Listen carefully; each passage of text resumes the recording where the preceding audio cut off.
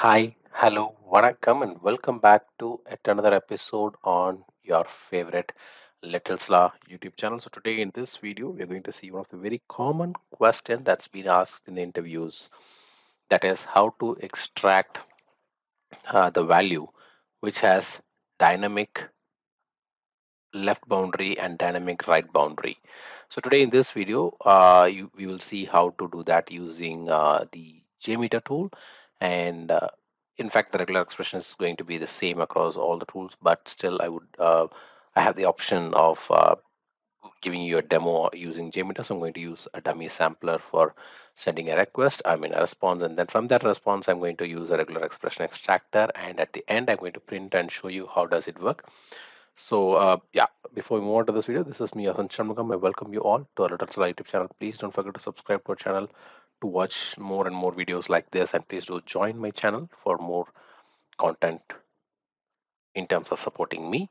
And uh, don't forget to give a thumbs up and uh, share the video with your friends. So yeah, with no further delay, let's go to the video. So firstly, uh, in fact, this is one of the uh, uh, content which we have explored in my previous uh, video. If you haven't watched it, you can watch that. I will share the link as well. So in this one, um, let me just make a quick change. So uh, let me start with this. So so what happens is, uh, let, let me just take you through step by step so that you'll understand uh, how to uh, uh, try this left boundary and right boundary in this rather than going straight and you do not know how do, how did how did you arrive to this value right so that's the reason i'm going to have several uh, several examples and then from there you will understand how does this uh, dynamic left boundary and right boundary works. And if you have any questions please do uh, add that in the comment section okay?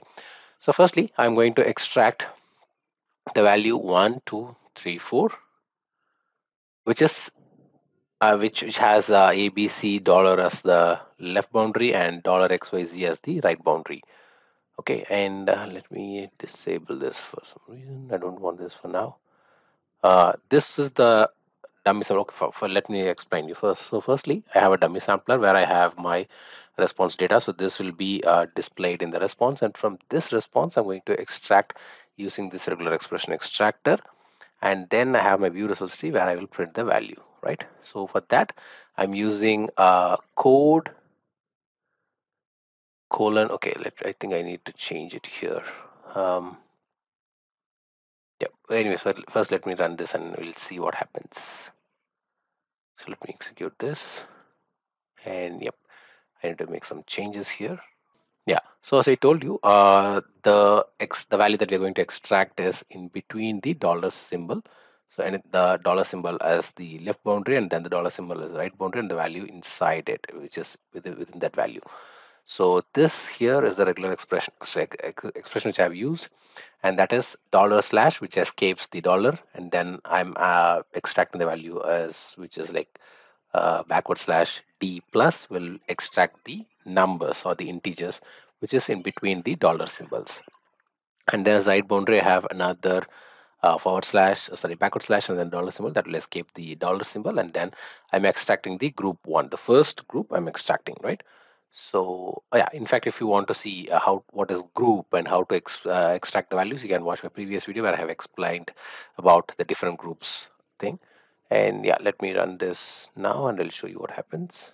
So if I'm extra running it so you can see here I'm extracting the value which is in between the dollar symbol uh, which is in in between the dollar symbol. So a dollar symbol at the left boundary and the dollar symbol at the right boundary and I'm extracting the first group right so now we'll move on to the second example with the same so I'm going to use the same value same um, uh, response. From that we're going to extract with the different combinations right? So uh, in this second combination, what I'm going to do is uh, let me remove the dollar symbol. And uh, the regular expression is I have the XYZ at the left boundary and ABC at the right boundary. So let me go back here. Sorry, uh, let me make it to XYZ. XYZ as the left boundary and then ABC as the right boundary okay and then yeah so anything that comes in between the xyz and the abc will be extracted with the dollar with the group one so now let me execute it and then in the view results tree you can see 1 2 3 4 so what did i do is I've extracted any value which is in between the XYZ and the ABC. So this is the static left boundary and static right boundary. Now I will take you to the next part where we will see how to how we are extracting with dynamic left boundary and dynamic right boundary, right? So coming back to this X, uh, the response, so we have XYZ, 1, 2, 3, 4, ABC. So what did I do is I have added backslash capital D and then inside the values which is a backslash d a small lowercase d plus and then another backslash capital d. So this is the value which we're going to use. I'll explain you what what is this and how does it ex, uh, extracts the value okay?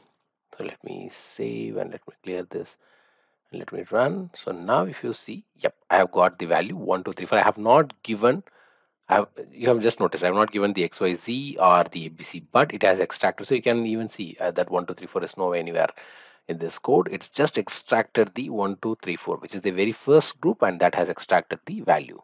Right. So now I'll explain you what is that slash D and how does it work. So now coming back to the regular expression. So what does this backslash D mention or what does it match? So the backslash D matches any character that is not a digit anything other than 0 to 9 and it stands for non-digit. And then the backslash lowercase d plus so this matches any digit. So the uppercase d will not match any digit but the lowercase d will match only the digit which is from 0 to 9 and then we have the quantifier plus. So this means one or more of the preceding element. So backslash d plus matches one or more consecutive digits. And then at the end again a backslash d matches any character that is not a digit. So let, let's try with a, a different example. So what I will do is, let me just keep it like only x and then a at the left and right boundary. And if I execute it, let's see what happens. Yep, so you can see we have got one, two, three, four. And same way, uh, let me increase it. Let me just keep as x, y. And then I'm going to keep just a at the, uh, let me make it as a. So I have xy at as the left boundary and just a as the right boundary. And let's see what happens now. Yeah, so even now we were able to extract the value 1, 2, 3, 4. So what did we do? So we have like two characters, which is xy. So previously we had equal amount of characters like xyz and then abc, but now we have xy and then A at the end. So let me make a quick change. So what I'll do is let me add A, B, C to the end as the right boundary. And let's try this one. So if I execute it and then go to the view results tree, yeah, so now same here. So whatever the value you keep, that will be extracted if it is a non-digit. So if you have um, a non-digit value at the as the left boundary and as the right boundary, you can very well use this. So now we will try with another example and let's see how does it work.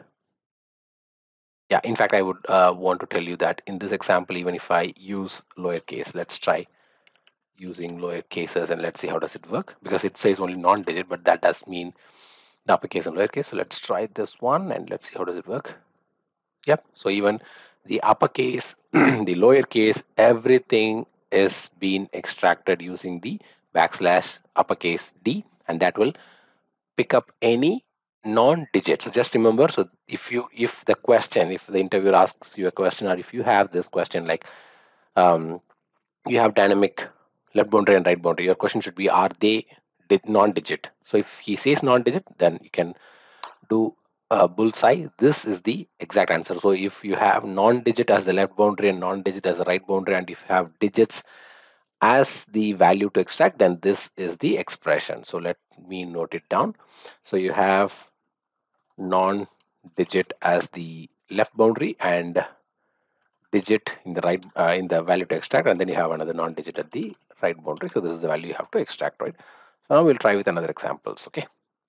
So now we will see another combination so previously we saw a regular expression extractor with this combination of non-digit digit and non-digit. So what if you have another combination which is you have digit non-digit and then a digit. So that's what you're going to do now. So I'm going to use uh, uh, backslash lowercase d, and then as the value which I'm going to extract is a backslash uppercase d with plus, and then another backslash with d. So this will extract a non uh, a value which is a non-digit, which is inside the yeah, so let's now see how does it work, and let's see what is the value that's getting, that is getting extracted. So here I have a set of values, and I'll show you what exactly will happen when I run this regular expression. So if I run this value, so if you see at the end, I've got the value which is ABCDF colon data. So what does it happen is I have the number 1234 which is the non-digit value and then in between another number I have the values of ABCDEF colon uh, semicolon data another semicolon. So any values which is in between the digits. So there is a digit and then another non-digit and then I have a digit. So this combination brought the values in between it. So this is again another way of dynamic value. So for example, let, let's see this way. I'm having values like 1, 2, 3, 4, 7 and I have values like multiple values. I'm, I'm just adding, I'm just increasing the combination or I'm just adding a value. So that sometimes you might be getting the same question. So they, when you tell them that um, I have, I'm using this and using this uh, as the left and right boundary, and they might tell you that what if uh, the the the characters increases? Like was the left boundary you have like 10 characters and the right boundary you have three characters. So this will definitely work in that scenario. So when we run this let me just show you what happens. So when i execute it even in that scenario it will work fine. So i think i have showed you two different uh, examples. One is with non-digit digit non-digit and then the digit non-digit and digit. So let's now see with different examples now. So now in this example, I'm going to extract the value, which is value to correlate. And in this one, I'm going to have the left boundary as CSRF token 1234 equals, and then 1234 as the, I mean, like whatever number it can be just even uh, 4, 5, 6, 7 uh, as the uh, right boundary. And what is the regular expression I'm going to use for this? So I'm going to use CSRF token slash D, which is the one you know, uh, the digit and then the non-digit is going to be the value that's going to get extracted and then we're going to have the digit as the right boundary so let's run this one this example and let's see what happens i'm running this uh, example and here if you see i've got the value which is value to correlate even though i have got a set of different values so let's i'm going to use the same value so what i'm going to use what i'm going to do is i'm going to duplicate the same thing again and uh, I'm going to disable the previous one and here I'm going to change the value. So this is just an example. Like for example, if what if it changes? So if it's like changes to five, three, six, seven, whatever the dynamic values you say, the dynamic values, it can be anything, right? And when we run this part, yeah, so every time I get the value, I, I get the value value to correlate. So previously we have got the value one, two, three, four, four, five, six, seven as the left boundary and right boundary along with the CSRF token equals and now with this one with this second one uh, sorry with the latest one we have got a lot of values a lot of combination of values but still we are able to correlate the value which is value to correlate because of the uh, because of using the regular expression. So what did we do? What did we do? So just imagine two things. One is make sure you what do you get as your left boundary or what do you get as your right boundary and make sure what are the static values in that and what are the non-static values what are the dynamic values in that. So if you're able to find that i mean just anytime when somebody asks this question or when you have this question just try to understand the logic behind it. Like what value do you have? Whether it's a, a digit or whether it's a non-digit and then when you once you're able to find that then you it's easy for you to uh, extract the correlated I mean the dynamic value. So so far we saw uh, values with uh, digit non-digit combinations right? So now so you, you you definitely would have this question. I mean the interviewer also will be asking you this question just uh, like what if you have a combination of strings? Like it has digits and it has both non-digits so what, it, what how will you extract it? So that's uh, why i have come up with this example. So i have this value the value of numbers and strings as the left boundary with value equals. And then again as the right boundary i have another set of values with a mix of strings and numbers characters and number so how i'm going to extract it? So now for that i'm going to use uh, this particular value which is slash d which we all know, the digits part. So here uh, I have the value which is, I mean, like I'm going to extract the value which is going to be a mix of digits and non-digits. So if you see, I have got uh, digits and then I have got non-digits and then I have got equals. So what did I do is I'm going to use the value, the same value with that combination. So if it is digits and if it is non-digits, then anything with which is before the value equals will be going to be my left boundary. And then the same way, which is going to be combination of A to Z and then A to Z, which is what I have as my right boundary. So if you see, I've got these values here like AS, right? So it has to be either, it has to be either one of these values, right? So if you see the pattern, you can see whether it is, even though it is dynamic, there should be some pattern, whether it has to end with digits or whether it has to be ending with non-digits. So I'm going to use this value here, the backslash D plus D, I mean, digit, non-digit equals, and then the value which I'm going to extract. So I'll show you what happens here. So when I extract this value, you can see uh, I have got value to correlate ASL. So what happened is the values which is here, which is ASL also has got extracted, right? So at this point of time, what I will do is I'll use another technique. So I know how uh, like normally when the value that you're going to extract will be of a certain length, right? It can be 36, or it can be 22, or it can be like 48, or even it can be any amount of length. So, but that length will be same all the time. It won't change because the anytime the server sends you the value will be dynamic but the length of the value you can even check in your uh, any of the system. The value will change but not the length would change right?